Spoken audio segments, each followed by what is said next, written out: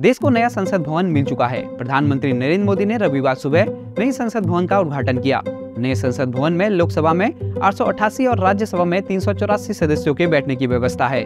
नया संसद भवन बनने से अब लोगों के मन में ये सवाल उठ रहा है कि पुराने संसद भवन का क्या होगा? क्या उसे ढहा दिया जाएगा? तो इस सवाल का जवाब है नहीं। ऐसा बिल्कुल नहीं होगा। पुरानी पार्लियामेंट बिल्डिंग देश की आर्कियोलॉजिकल एसेट है। ऐसे में इसे तोड़ा नहीं जाएगा और इसे कंजर्व करके रखा जाएगा।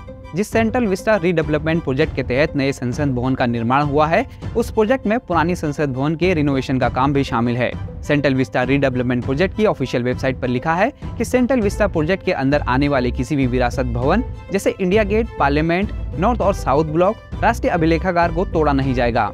मार्च 2021 में केंद्रीय आवास एवं शहरी मामलों के मंत्री हरदीप पुरी ने राज्यसभा में बताया था कि नए संसद भवन का काम पूरा हो जाने के बाद पुराने संसद भवन की मरम्मत कराई जाएगी, ताकि उसका वैकल्पिक इस्तेमाल किया जा सके।